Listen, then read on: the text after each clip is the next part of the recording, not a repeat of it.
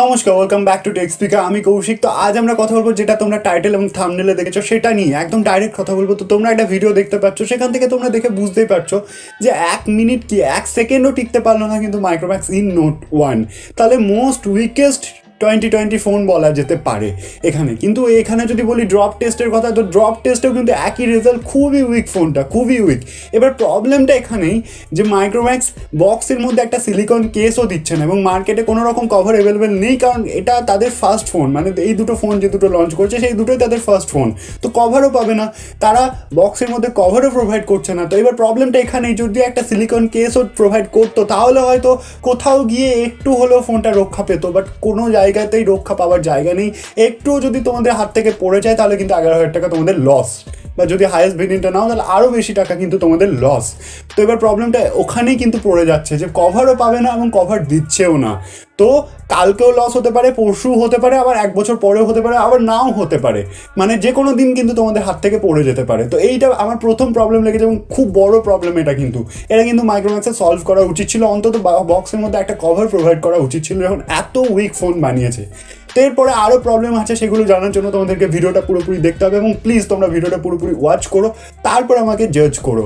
তো সেকেন্ড আমি যে পয়েন্টটা বলব সেটা হচ্ছে মাইক্রোম্যাক্সের যেটা আফটার সেল সার্ভিস সেটাকে নিয়ে। সেটা সব থেকে বড় প্রবলেম আমার আরও একটা সব থেকে বড় প্রবলেম কিন্তু লেগেছে। এটা কীরকম প্রবলেম না মাইক্রোম্যাক্সের আগের রেকর্ড যদি আমি চেক করি, আমি আগে মাইক্রোম্যাক্সের নিজে ফোন ইউজ করেছি, তো সেখানে কিন্তু তারা সেরকম ভালো সেল সার্ভিস দিত না।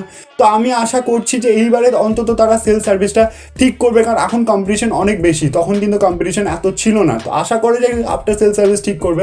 এবং এই যে দুটো ফোন এই দুটো ফোনের ওয়ারেন্টি পাচ্ছি, সব পাচ্ছি, কিন্তু সেল সার্ভিসের কথা কিন্তু মাইক্রোম্যাক্স কোথাও উল্লেখ করেনি। না তো তারা লঞ্চ ইভেন্টে করেছে, না তো তারা ফোন যখন বেরিয়েছে তখন কোনো অফিসিয়ালি স্টেটমেন্ট দিয়েছে। তো কীভাবে আমরা আফটার সেল সার্ভিস পাবো সেটা কিন্তু জানি না। এদিকে যদি কম্পিটিটরদের কথা বলি রিয়েলমি সৌমি ওপো ভিভো এদের কিন্তু আফটার সেল সার্ভিস খুবই স্ট্রং আমি নিজে গিয়ে এক্সপিরিয়েন্স নিয়েছি। তো খুব ভালো কিন্তু এদের আফটার সেল সার্ভিস কি? সেদিক থেকে মাইক্রোম্যাক্সের কিন্তু ততটা ভালো নয়, আগে ছিল না এবং এখন তো কোনো কথাই নেই। কীভাবে তা আমরা পাবো, সেটার কথা কিন্তু তারা বলছে না। থার্ড যে পয়েন্টটা সেটা হচ্ছে তাদের অপটিমাইজেশন যেটা সফটওয়্যার আছে, সেটা অপটিমাইজেশন সেটা কীভাবে আমার প্রবলেম লেগেছে না? আমার প্রবলেম প্রথমে এটা লেগেছিল যে, তারা স্টক অ্যান্ড্রয়েড দিচ্ছে, খুব ভালো স্টক অ্যান্ড্রয়েড খুব ভালো ক্লিন অ্যান্ড্রয়েডের মজা দিচ্ছে এই টাকার মধ্যে, যেটা খুবই ভালো ব্যাপার। কিন্তু প্রবলেমটা এখানেই যে ট্রিপল ফিঙ্গারিং মোড তোমরা যদি অন না করো, তাহলে কিন্তু তোমরা মাল্টিটাস্কিং করতে পারবে না। তো এটা তোমরা বুঝলে না, আমি ভেঙে বোঝাচ্ছি তোমাদেরকে। ট্রিপল ফিঙ্গার মোড হচ্ছে সৌমিতা আমরা অনেকবার দেখতে পেয়েছি না যে তিনটে ফিঙ্গার দিয়ে আমরা কিন্তু স্ক্রিনশট নিতে পারি। তো সেই মোডটাকে তোমরা যদি মাইক্রোম্যাক্স ইন নোট ওয়ানে অন করে রাখো, তবেই তোমরা মাল্টি টাচ করতে পারবে। মাল্টি টাচ মানে কি? মানে তোমরা যখন পাবজি ফ্রি ফায়ার এরকম গেম খেলবে না যেখানে মাল্টি টাচ করতে হয়, সেটা তখনই ইউজ করতে পারবে, তখনই ওই গেমটা খেলতে পারবে যখন তোমরা ট্রিপল ফিঙ্গার মোডটাকে অন করে রাখবে। তো না চাওতেও কিন্তু তোমাদেরকে ওই মোডটা অন করে রাখতে হচ্ছে, যেটা তাদের অপটিমাইজেশনের প্রবলেম এবং তারা আপডেট দিয়েছিল, সেটা সলভ হয়ে গেছে। এবং অনেক এরকম প্রবলেম আছে অপটিমাইজেশনের যেগুলো হয়তো আমার এখনই মনে পড়ছে না।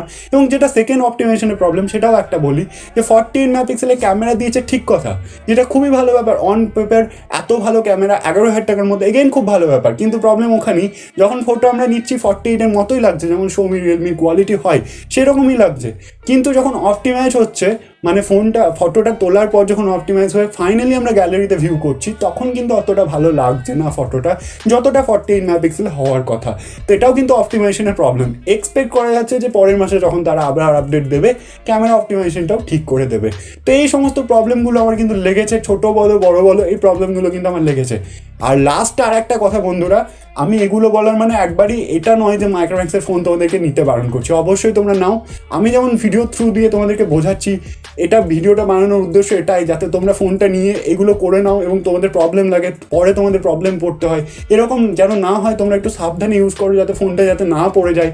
হ্যাঁ যদি একটু সাবধানে ইউজ করো, ফোনটা যাতে অপটিমাইজেশনে তোমাদের কোনো রকম প্রবলেম না হয়, নিয়েই তোমাদেরকে যেন কোনো প্রবলেমে না পড়তে হয়, সেই জন্য আমার ভিডিওটা বানানো। আমার ভিডিওটা বানানোর উদ্দেশ্য এটাই। এটা নয় যে তোমরা ফোনটাই নেবে না। ফোনটা নাও। আমি যেমন ভিডিও থ্রুতে মাইক্রোম্যাক্সে বলছি যে এই এই জায়গাগুলোর প্রবলেম তোমরা ফোনটা নিয়ে একটু হাতে নিয়ে বিচার করো যে কোন কোন জায়গাগুলো তোমাদের প্রবলেম মনে হচ্ছে এবং কাস্টমার যেটা ফিডব্যাক হয় সেখানে তোমরা অবশ্যই ফিডব্যাক দাও এবং মাইক্রোম্যাক্সকে আরও ইমপ্রুভ করাও। এটাই আমি বলব। কারণ প্রথমেই কাউ কেউ ইমপ্রুভ হয় না আমাদের দেশল ব্র্যান্ড অন্তত দু তিনটে ফোন তাদের দেখো। তারপরেও যদি তারা ইমপ্রুভ না করে, তখন তাদের প্রবলেম কিন্তু এখন তোমরা একটু সাপোর্ট করো প্লিজ এটা কিন্তু আমি বলব।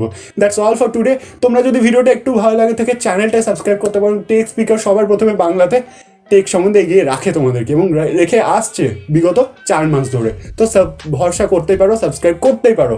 আর ভিডিওটা লাইক করতে পারো, নিচে কমেন্ট বক্সে তোমাদের ফিডব্যাক আমাকে লিখে জানাতে পারো। That's all for today thanks for watching চলো, টাটা।